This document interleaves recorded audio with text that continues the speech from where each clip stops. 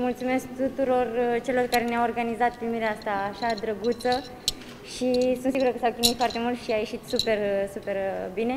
Și vă mulțumim din suflet, vă mulțumim pentru susținere și pentru că v-am simțit acolo lângă noi.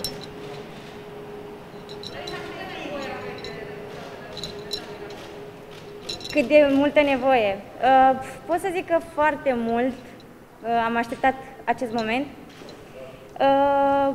nu știu, uh, este emoționant pentru mine să mă aflu din nou aici și să vorbesc în fața tuturor, uh, însă este un moment de bucurie pentru mine, dar în același timp este un start care știu că um, va urma ceva mai greu și trebuie uh, oarecum să mă bucur, să mă odihnesc și apoi să încep să muncesc din nou pentru a-mi îndeplini visul și, nu știu, sper din suflet să, ca la anul să ne întâlnim tot aici, îmi pare rău.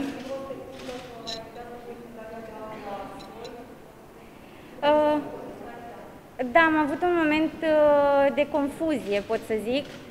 În capul meu era, ok, am pierdut și medalia asta de aur, dar în același timp l-am văzut pe domnul Cristi cum se duce să fac contestație și am zis, nu, stai puțin că se schimbă puțin uh, lucrurile.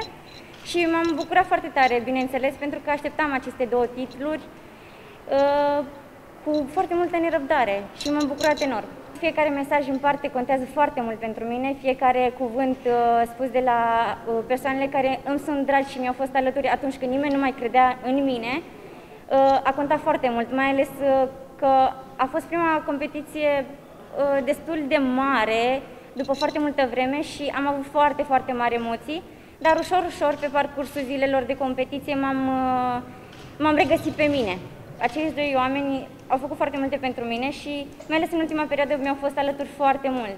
Chiar dacă aveam anumite stări mai puțin bune în timpul antrenamentelor, mă ajutau să trec peste acele stări și să îmi continui antrenamentele. M-am simțit bine să fiu din nou într-o echipă și uh, să trag pentru acea echipă. Chiar mi-am pus sufletul pe tavă, am încercat până la ultimul moment din concurs să plusez și să le motivez pe fete dar, uh, din păcate, asta a fost să fie.